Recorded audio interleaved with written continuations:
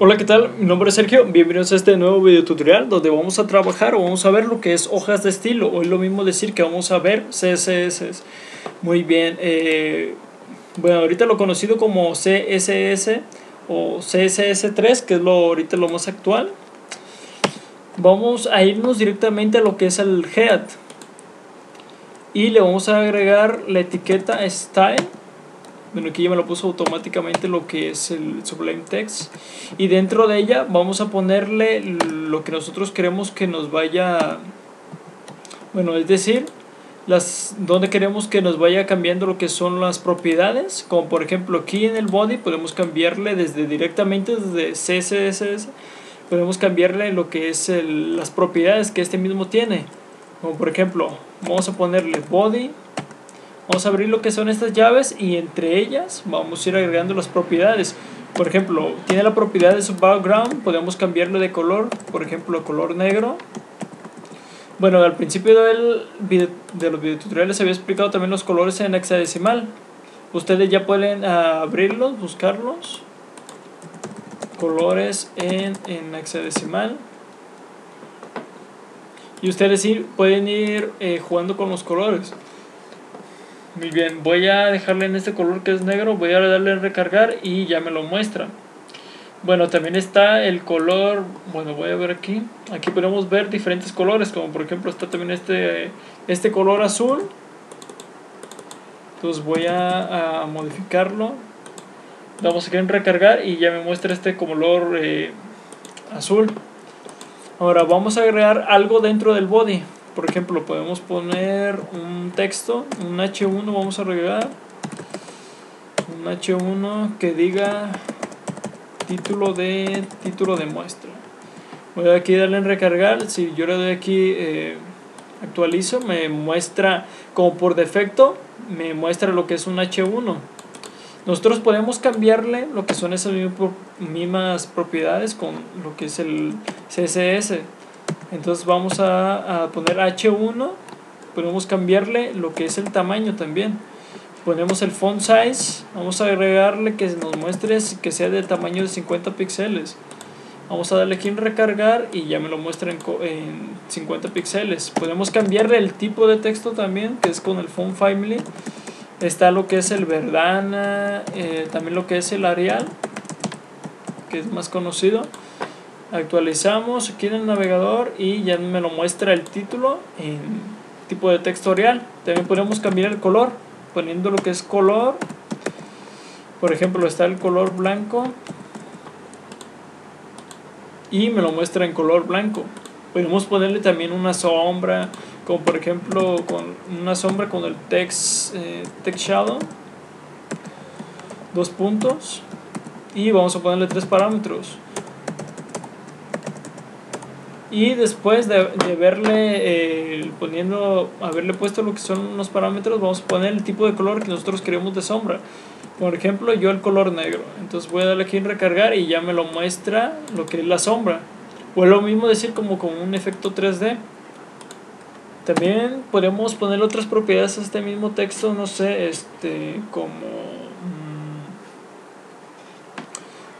mm, el tipo de alineación también como el text align. Podemos ponerle center recargamos y ya nos lo muestra en el centro. Bueno si ya aquí yo hago más grande la, la pantalla del navegador me lo muestra ya en el centro. Muy bien ahora vamos a agregar no sé una capa una división que habíamos visto anteriormente. También podemos darle lo que vendría siendo un, un cierto tamaño. Bueno este yo lo, bueno, sí lo vamos a dejar en este mismo, en este mismo div. Vamos a ponerle un ID que se llame eh, capa. Ahora, nosotros como le pusimos lo que es un ID, podemos eh, de mandarlo a llamar con el CSS desde su mismo ID. Entonces, para llamarlo desde el ID, vamos a poner lo que es un cat y una y cómo se llama el ID con esto ya podemos mandar a llamar lo que son los todo lo que tenga un ID entonces ya aquí estamos en lo que es en esta capa. Y ya aquí nosotros podemos ponerle también un background. Bueno aquí yo voy a fijarme qué otros colores hay. Por ejemplo está este rojo. Voy a copiarlo. Y se lo voy a poner aquí. Hasta ahorita si nosotros recargamos aquí no vamos a ver el background porque no tiene ninguna ningún tipo de eh, ninguna anchura o sea no tiene ningún tamaño. Entonces vamos a ponerle un egg que sea de unos 20 píxeles para que se vea algo. Vamos a darle aquí en recargar y ya lo podemos ver. Aquí podemos ver el tamaño del, de lo que vendría siendo de, de la división.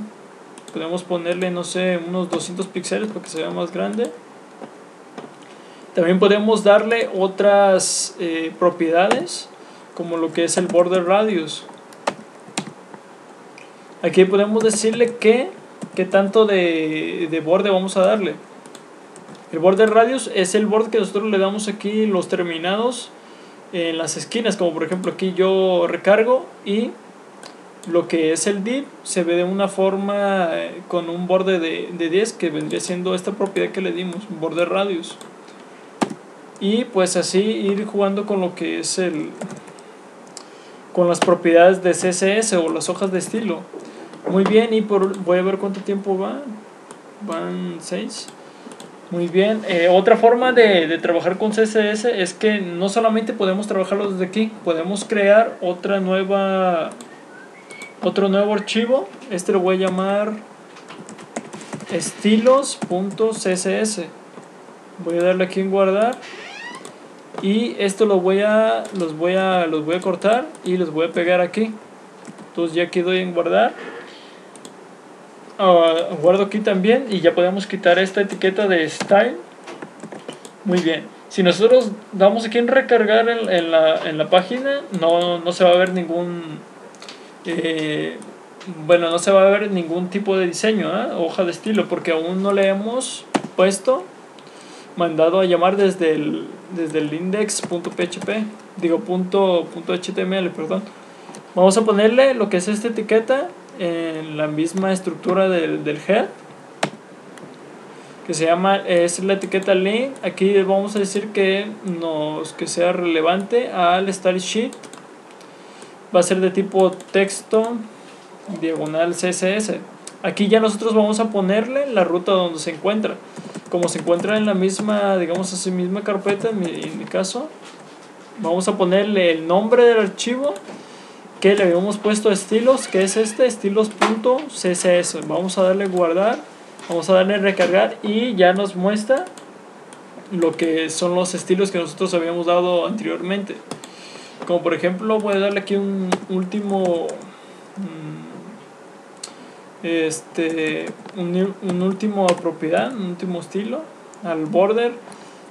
Por ejemplo, podemos poner border un, que sea de un píxel, que sea sólido y que sea de, de color blanco.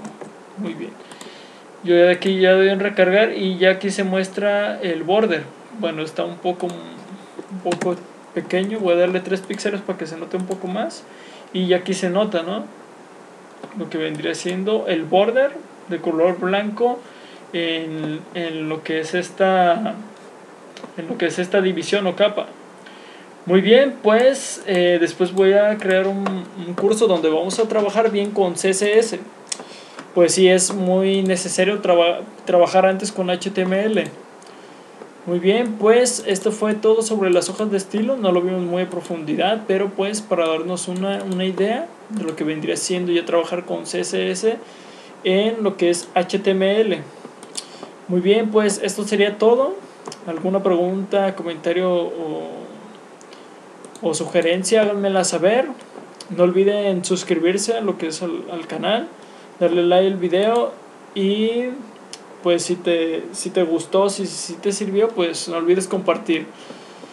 Muy bien, pues esto sería todo y nos vemos en el próximo video tutorial.